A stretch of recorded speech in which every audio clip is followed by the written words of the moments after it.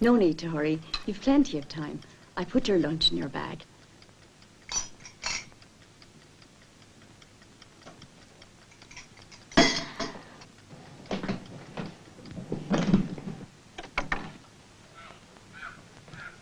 Mind yourself. Okay. Yes, David is in plenty of time to catch the bus.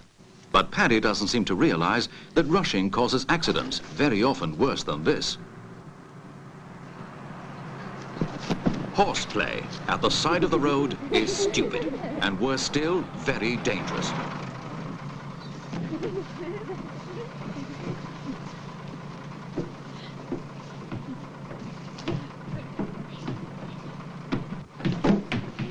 How many times have you been told not to mess at the side of the road?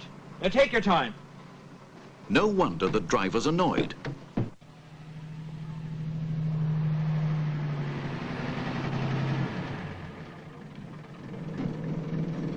Get off the bus, stand well back and wait. Never attempt to cross the road while the bus is still there. You can't be seen, nor can you see the traffic, and this is true for all buses.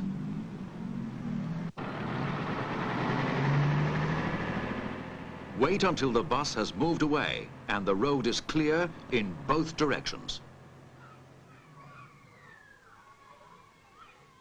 One, two,